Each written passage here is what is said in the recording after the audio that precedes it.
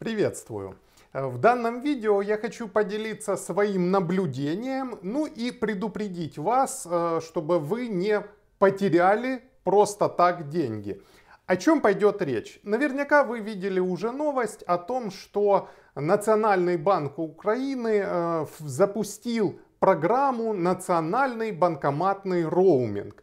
И смысл этой программы в том, что э, в банках, в банкоматах устанавливаются одинаковые правила снятия налички, независимо от того, являетесь вы клиентом банка или не являетесь.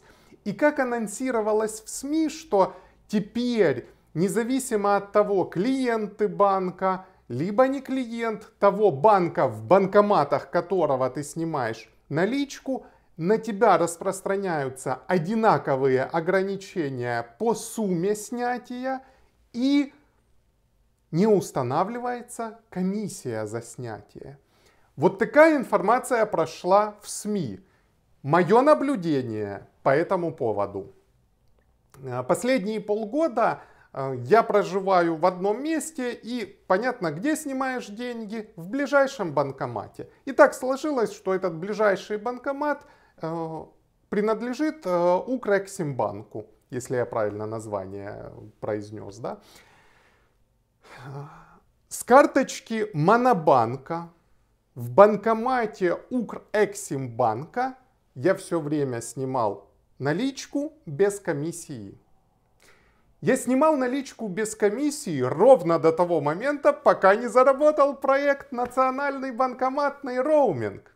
Вот понимаете, ну, вот как только государство тебе говорит, что мы сейчас тебе сделаем лучше – в этот же момент происходит введение комиссии на снятие налички.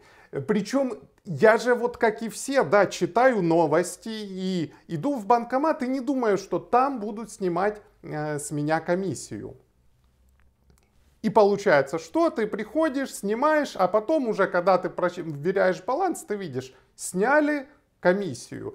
Вопрос не в том, понятно, это не какие-то супер большие деньги, но в современных условиях, когда для многих людей каждая копейка на счету, даже эти деньги, эта комиссия, которую можно заплатить, да, а можно не заплатить, даже эти суммы важны. И поэтому, друзья, что я хочу вам сказать? Снимайте наличку в банкомате того банка, который выдал вам карту. Вот там точно не должно быть комиссии. Если вы снимаете наличку, хотите снять наличку, особенно если это какая-то существенная сумма, проверьте, а в том банке, в котором вы будете снимать, действительно ли нет комиссии. Да, ну если мы говорим о снятии налички в банкомате другого банка, либо как, например, вариант, да, когда мы пользуемся монобанком, да, у них нет своих банкоматов, и поэтому мы всегда вынуждены э, снимать наличку в чужих банках. Вот проверьте, какие условия сотрудничества с этим банком. Потому что в противном случае, если мы верим тому, что пишут в СМИ, да, ты приходишь, вставляешь карточку, на радостях снимаешь деньги, а потом оказывается, что все-таки там была комиссия.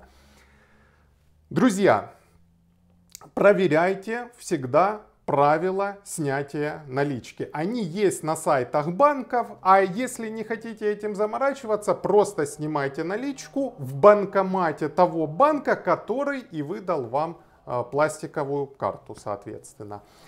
Друзья, напомню, что с вами был Олег Лукьянчиков, адвокат, кандидат юридических наук. Желаю вам удачи, здоровья и, конечно же, мира. Пока-пока.